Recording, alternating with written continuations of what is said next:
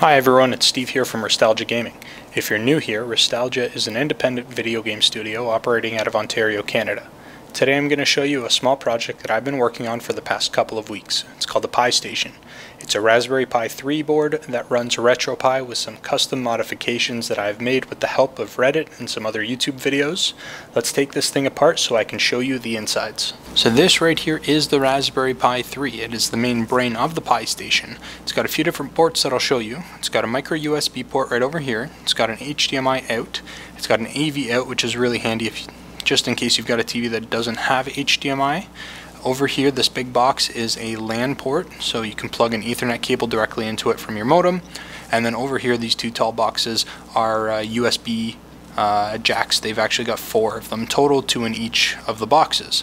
Uh, some of the major differences between the Raspberry Pi 3 and previous versions is there was a, a decent upgrade to the processor. Uh, it's currently running a 1.2 gigahertz processor versus the previous version at 900 megahertz.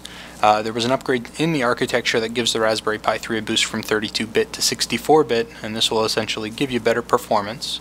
And another big change is that the Raspberry Pi 3 has onboard Wi-Fi and Bluetooth, and this is something that no other Raspberry Pi has been able to support without the use of one of those USB dongles. This makes working with the Raspberry Pi much more convenient and a lot easier to use. So this right here is a micro SD card. All of the data for the device is actually stored as an image file on this SD card. I'm currently using a 64 gig card, uh, which is less than half full right now, but depending on your application, you could use any size from as low as 2 gigabytes to as high as 128 gigabyte cards. It's important to note that not all SD cards are compatible with the Raspberry Pi. Uh, there's a really good compatibility list on elinux.org, which I'll link to in the description.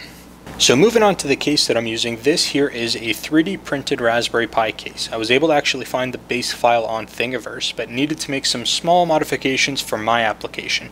One of the major changes that I had to do was uh, add a mounting hole, and a couple of the minor ones that I had to do was adjust the logo and the text so that it printed a little bit more sharp and clearly. Uh, the power button itself is a really simple momentary push button. When it's connected to the Pi and if it's pushed it'll essentially just bridge two of the pins and what I've uh, programmed uh, and customized my software to do is to run a shutdown script. It's not a necessity but it is much more convenient than have, having no button at all. Uh, powering down a Raspberry Pi incorrectly can actually corrupt your SD card uh, and the button actually prevents that from happening. Uh, it doesn't matter what you're doing in the Raspberry Pi if you press that button it'll automatically go go through a sequence to properly shut down your Raspberry Pi. That's pretty much all there is to the physical aspect of the Pi station. So let's get this thing connected and boot it up. So RetroPie is amazing in the sense that almost any USB controller will either be semi-compatible or fully compatible. I personally use a hardwired Xbox One controller, but I've used the PS4 controller in the past with no issues, and there's actually another controller I'd highly recommend. It's called the NES 30 Pro. It's made by 8BitDo, uh, and I've got a picture showing right now so that way you can see exactly what it is. Uh, the NES 30 Pro is the perfect button layout for RetroPie. Uh, it's an easy to set up Bluetooth uh, compatible controller uh, and that's a super nice feature so that way you don't have to mess around with any cables and you can actually set this specific controller up so that way it would be a dedicated Pi Station or RetroPie controller. Another thing that I recommend is having a keyboard accessible or plugged into the Pi. I use my wireless Microsoft keyboard but really any keyboard is fine. Uh, not all apps are compatible with the controller. So there's, for example, Kodi, which is not compatible with either the Xbox or the PS4 controller, and you actually need to unplug them from the system in order to uh, function uh, the app properly. I've decided to use a pixel theme, um, so that's what you're actually seeing here, how it looks all pixelated. Uh, and there's a couple other cool themes, but I don't often recommend playing around with the themes too much. Some themes will not work and give you a white screen of death. Uh, if you have more than a handful of systems loaded, there's about three or four safe themes that, that'll work with a fully loaded console. Um, but I tend to stick with uh, with the ones that I know work. Uh, I've made I've also made some configuration changes that will allow some background music to be playing in the main menu and in the selected title landing page. Uh, the music is fully customizable and can actually be replaced with almost any other song or songs you like. If you want more than one song to play, what it'll do is it'll it'll just be like a CD player. You'll put in five uh, five MP3s into the folder and it'll just loop through them. So as you can see here, I've got a bunch of different consoles set up. Uh, I've got the Atari 2600, I've got Game Gear, I've got Game Boy, I've got Game Boy Advance, I've got Game Boy Color, MAME. MAME is uh, essentially it's an arcade emulator, so it'll play some of the games that weren't ever released on console and they were only in arcade machines. Uh, I've got the Sega Mega Drive, or better known as the Sega Genesis. I've got the Nintendo 64. I've got the original Nintendo, the NES. PC Engine is also known as TurboGrafx. Uh, it's not a very well-known console, um, but it has a ton of really good games. And then there's something called ports. We'll get back to that, but that's essentially uh, where you would be able to load into Kodi, and you can actually use this for streaming video and, and that type of thing. Uh, and then the one that a lot of people are very excited about is PlayStation. Um, PlayStation didn't run well on some of the older Pis because they weren't powerful enough, um, but the Pi 3 can run PlayStation really, really well.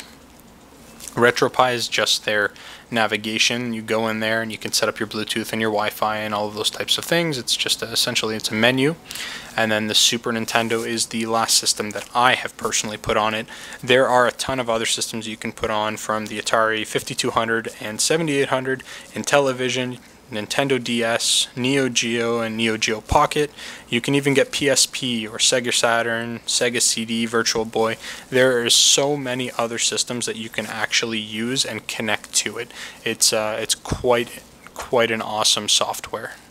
So I'm going to show you guys some in-game footage so you can see how clean the emulation is uh, in most cases. We'll talk a little bit about that when we go to the N64 section, but uh, in most cases it is very clean and clear.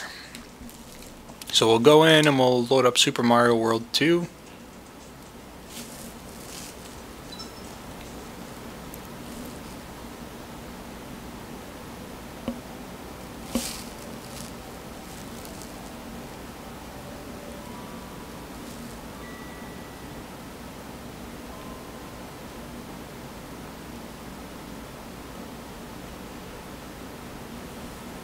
So there's that. If you press start and select at the same time within any game or any emulator, it'll automatically kick you right back um, to the selected title menu.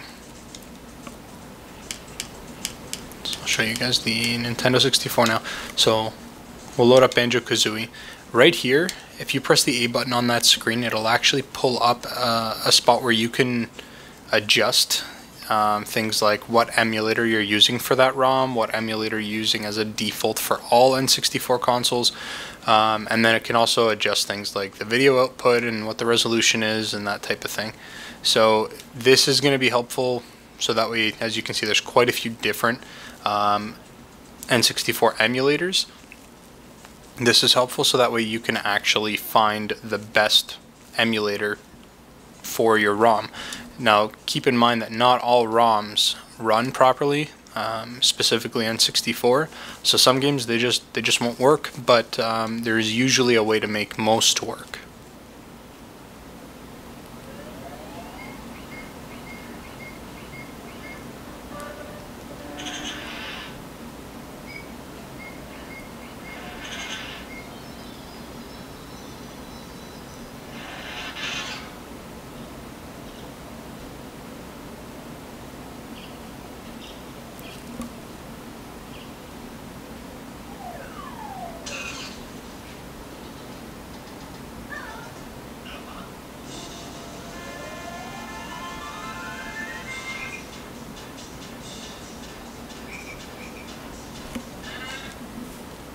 So that's that. And then I'll show you guys some PlayStation 1.